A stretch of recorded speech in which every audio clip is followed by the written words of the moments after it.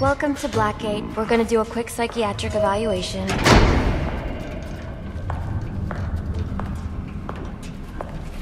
Bad day, huh? Cops in this city. Always beating on the sick and defenseless. Tell me something, dear. Have you ever had a really bad day? And what do you mean by that? You, of all people, should know. There's nothing so cruel as memory. The pointy, bitey little thunderbolts, unwanted party crashers screaming for your synapses. Inescapable, unrelenting, not at all friendly. You can't even escape into madness.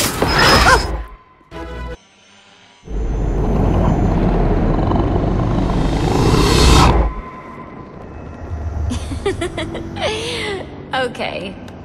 One more. And I need you to be serious for this one. Fate. You want to know something funny? I used to think of fate as evil. Predetermined, not by some higher power, no, but by the rules of human nature. But tonight, it's all changed. What changed? Have you ever had the feeling that your entire life has been building towards this one moment? Is that how you feel? Well, now, yes. Now I realize that all the battles, the bad days, the brutalities, it was all the hand of fate at work. So now you see fate differently? Absolutely. Now, I are no chance encounters. It was all meant to be. Everything leading up to who I've met tonight. So you've met someone special? Yes. And you might say it's changed everything. Everything? Absolutely. I mean, do you realize what a vile world we live in?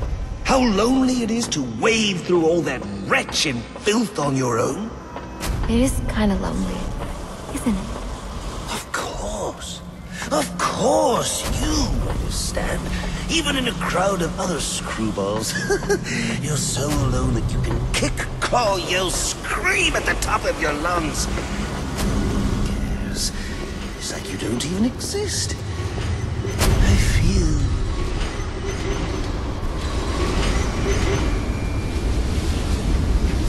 And how does that make you?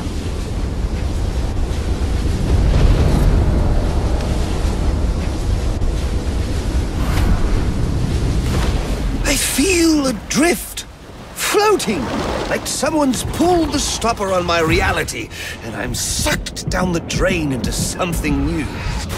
It's all very exciting, really. you wouldn't know what that feels like, I'm sure. I might. Can you tell me more about how this person makes you feel? It's like meeting someone I can actually relate to. Which, believe me, dear, I've never felt before. you understand? You're someone who's not afraid to let go and fall. Free falling, and I didn't pack a chute.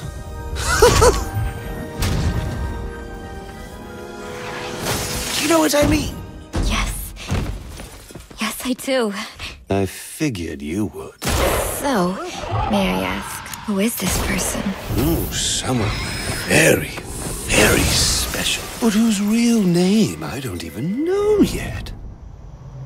Uh, my name's Harleen. Harleen Quinzel. What a pretty name. Do your friends call you Honey? I don't have a lot of friends. Well, Harley, you got one now.